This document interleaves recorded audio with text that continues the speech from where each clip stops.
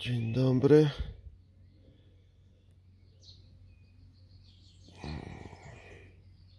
Pole namiotowe na Korsyce.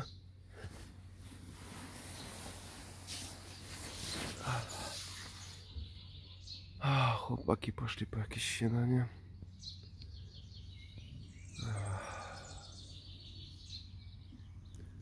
Motorystują.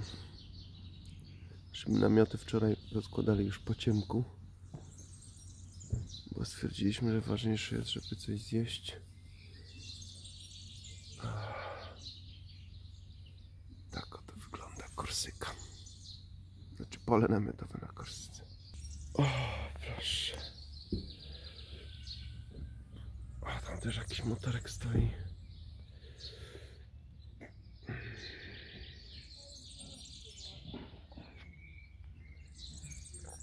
Też jakiś motorek wjeżdża.